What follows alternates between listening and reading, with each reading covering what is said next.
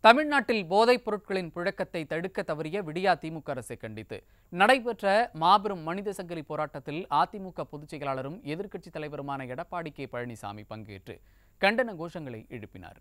சென்னை மயிலாப்பூர் தொகுதிக்குட்பட்ட ராஜா அண்ணாமலைபுரத்தில் தென் சென்னை தெற்கு கிழக்கு மாவட்ட செயலாளர் எம். கே. அசோக் ஏற்பாட்டில் மனித சங்கிலி போராட்டம் நடைபெற்றது.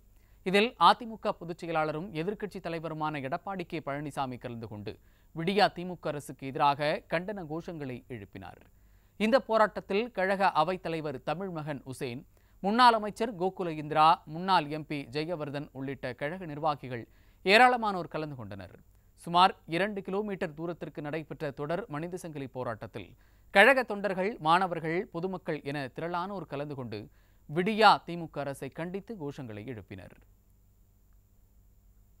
பதவி விலகு பதவி விலகு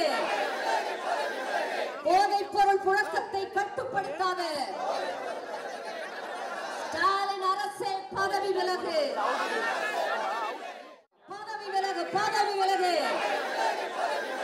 போதைப் பொருள் புழக்கத்தை கட்டுப்படுத்தாத.